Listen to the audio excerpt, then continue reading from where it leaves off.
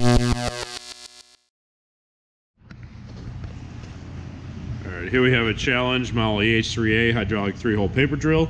The machine runs on single-phase power. Let me go ahead and run it for you. Uh, this does not have the automatic return on the foot pedal. You do have to release at the bottom of the cycle. We do have our adjustable back gauge.